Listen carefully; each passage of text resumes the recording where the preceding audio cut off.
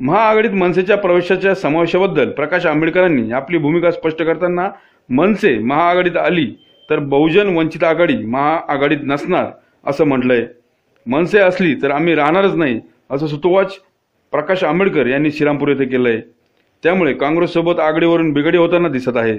अहमदनगर जिल्ह्यातील श्रीरामपूर येथे ख्रिश्चन हक्क परिषदेच्या कार्यक्रमानंतर पत्रकारांशी बोलताना आंबेडकर यांनी आपली भूमिका स्पष्ट केली आहे. मनसे असल्या तर आम्ही राहणारच नाही. मनसे असल्या तर आम्ही राहणारच नाही. मनसे असल्या तर आम्ही राहणारच नाही.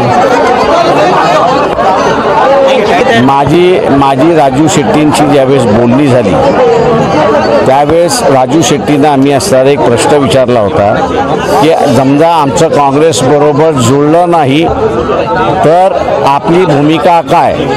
तर त्यावेळेस राजू शेट्टींनी असं सांगितलं की आम्ही काँग्रेस बरोबर राहू. त्याच्यामुळे त्याच्यानंतर मला माहिती नाही त्यांच्या भूमिकेत बदल झाला की न झाला. मनसे असल्या तर आम्ही राहणारच नाही. मनसे असल्या तर आम्ही राहणारच नाही.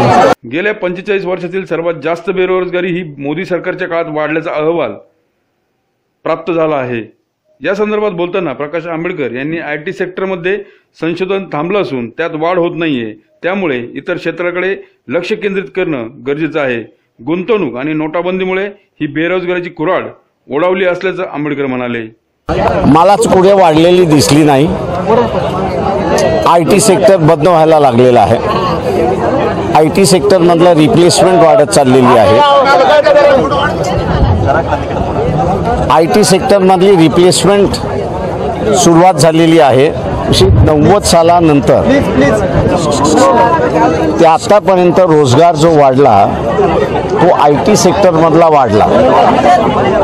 आय टी सेक्टरमधलं आता संशोधन थांबलेलं आहे. फक्त स्पीड वाढलेला आहे. आणि त्याच्यामुळे रिप्लेसमेंट ही सुरुवात झालेली आहे.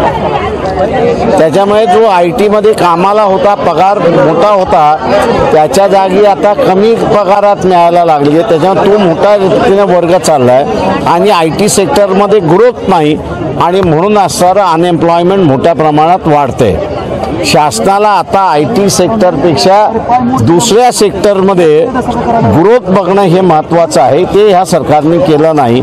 आणि म्हणून गेल्या चार वर्षाच्या कालावधीमध्ये इन्व्हेस्टमेंट डिस्टर्ब झालं. त्याच्याचबरोबर डिमॉनिटायझेशनच्या ह्याच्याने अनेक फॅक्टऱ्या बंद झाल्या.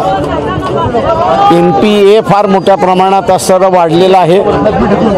आणि स्टँड स्टील म्हणजे जशीच ती अशी इकॉनॉमिक व्यवस्था आलेली आहे म्हणून एम्प्लॉयमेंट कमी आहे ही वस्तू. Mayonnaise bureau Shrirampur